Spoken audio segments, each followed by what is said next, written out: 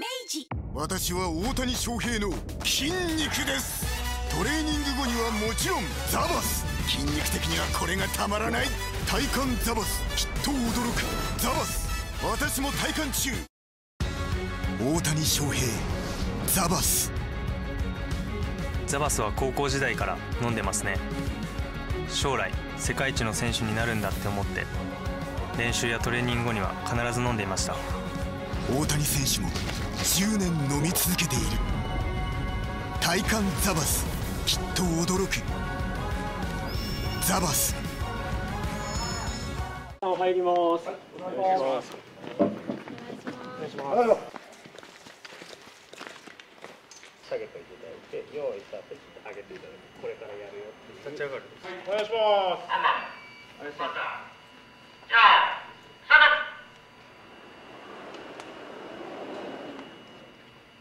はい、カット。サイトはどのぐらいまで。そうですね。どのぐらいで。あごのぐらいで。昨日2でやった時にこっちにしたんですけど、これだから1、2で、バックから2で一緒にこっちにはい。移動する。大体そこが1、2の下がり方。こっちに、こあ、浅めっち。に。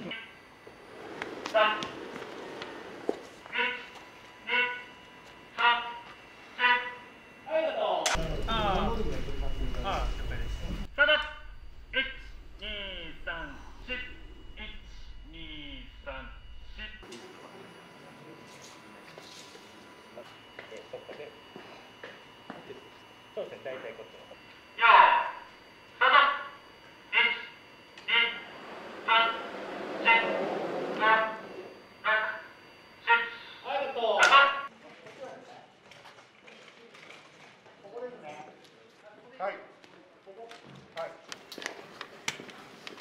高校時代研究でウェブムービーなんですけど、まあ、この映像、CM と同じ映像にプラス音、よーい、スタート。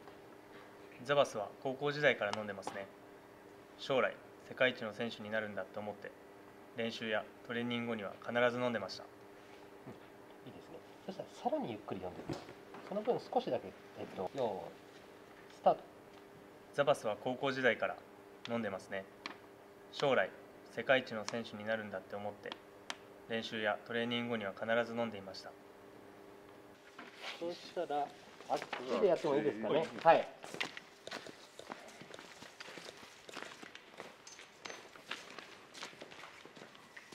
ちょっとその音を、あまあ、映像の中で少し強調して使いたいなとは思っていてっていうところなんで。はい、カット。うん、いいですね。じゃあ、これで大丈夫だと思います。はい、ありがとうございます。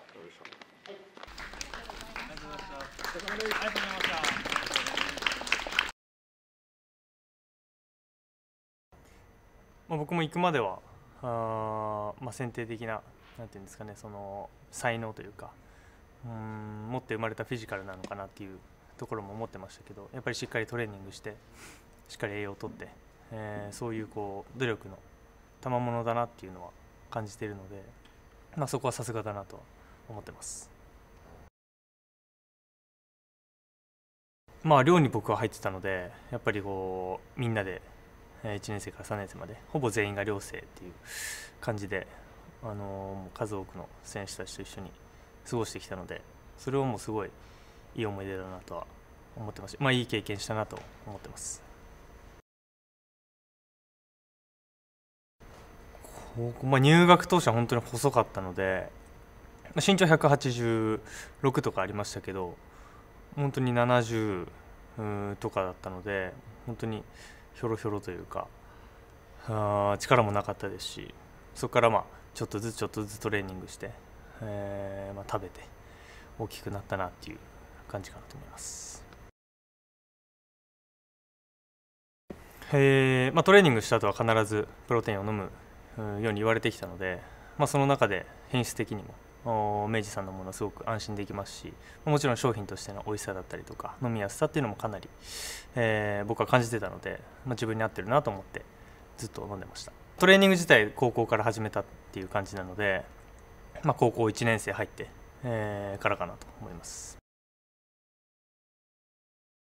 まあ、体作りのためにはタンパク質だけじゃなくて、まあ、ビタミンミネラルもすごく大事な栄養素なので、まあ、ザバスの商品にはそういうビタミンミネラル、えー、もまあプロテインの中に含まれているので、まあ、同時に摂取することができてすごくいいんじゃないかなと思ってます。溶けやすさもかなり良、えー、くなってますし、まあ、僕が最初使ってた頃よりも今の方がやっぱり断然溶けやすいので、えーまあ、その分飲みやすさにもつながってるんじゃないかなと思ってます、まあ、僕はずっとチョコレートが好きなので、えーまあ、ココアの味を、まあ、いつも飲むんですけど、まあ、いろんなバリエーションがあるのでいろんな人にとって自分に合ってるもの美味しいものを選んで飲めるんじゃないかなと思ってるのでまあいいなとは思ってます、まあ、ザバスずっと飲んでるので、まあ、本当に美味しくいただいてます。疲れました。はい。こういうセットとかどうでした？かいやすごかったですね、まあ、僕はい。よくトレーニングすりますし好きなのではい。すごく綺麗だなと思いました、はいワンピース見てるので、はい、すごく嬉しいなというか、まあ、応援したかったなっていうのはあれですけど。はい、うん、すごい嬉しいなというか光栄だなと思ってます。何ですかね。まあトレーニングしたら食べなきゃいけないので、うんまあ、今はね簡単な料理で終わってますけどそれをより美味しくうんいろんな栄養素を取れるように自分で工夫できたらまあより体作りのためになるんじゃないかなと思うので、まあ、料理できたらうまくなれたら嬉しいなと思ってます、まあ、今はすごい簡単なのしか作んないので何でもいいですけどね。なんか凝った料理みたいな 作ってみて難しいような料理作れたら面白いんだろうなと思ってます。皆さんこんにちは。大谷翔平です。僕が出演する新しい CM がスタートします。フルスイングで頑張ったのでぜひご覧ください。